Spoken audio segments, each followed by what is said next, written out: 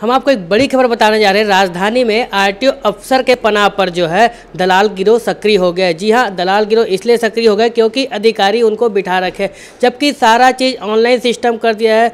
नरेंद्र मोदी प्रधानमंत्री ने भी कहा है कि सब चीज़ ऑनलाइन सिस्टम से काम हुआ जाएगा, लेकिन अभी भी जो है ऑनलाइन सिस्टम से काम नहीं हो रहा है। हम बता रहे हैं कि आपको कि जितने भी काम है, सब अभी मैनुअली किया जा रहा है। जबकि हाई टेक्नोलॉजी से आरटीओ दफ्तर भनपुरी में बनाया गया है। साथ ही साथ उनको काफ़ी लेंस सुविधा से बनाया गया है। सर्वर के काफ़ी हैदराबाद की टीम भी लगी हुई है उसको सर्वर के कनेक्ट करने के लिए। उसके बावजूद भी अभी भी है ऑफलाइन काम किया जा रहा है। तो फिर ऑनलाइन का मतलब ही नहीं हुआ।